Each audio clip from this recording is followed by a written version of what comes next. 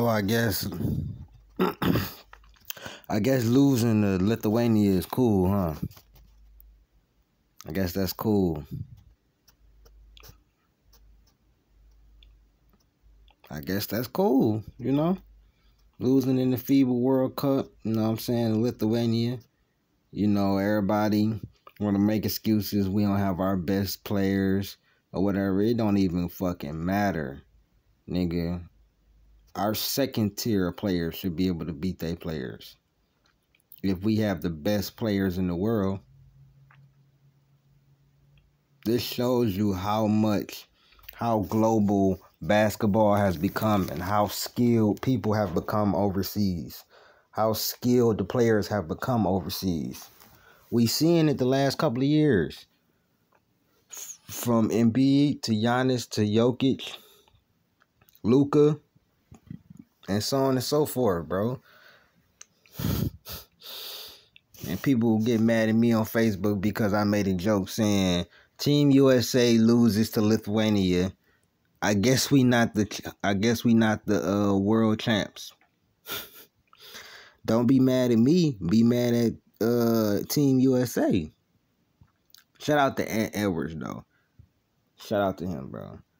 He did ball out. He had 30 plus. You know what I'm saying? They're just not good, bro. They're not good. You know. They're not good. I don't even want to talk about them. I really don't even want to talk about them because they're not worth talking about. That's why you ain't really heard me say nothing about Team USA. But this was funny as hell. They was lighting them up from three. It's funny because we just talked about, you know what I'm saying, Noah Lyles and him saying y'all not the world champs champions of the world and the whole backlash and everything with all that. So it's just like unacceptable ass losses like this. it's just like wow. It's very just very fitting for the moment.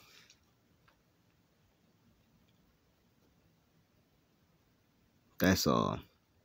So I just wanted to make a short video because this was just hilarious for them to lose like this. I watched the highlights. It wasn't worth even doing a video on. It was just Anthony, really Anthony Edwards versus Lithuania. No defense is being required now. So the closeouts was just basically them walking up. So Y'all let me know what y'all think, man. This been Who is Hendough with another video. I'm out. Peace.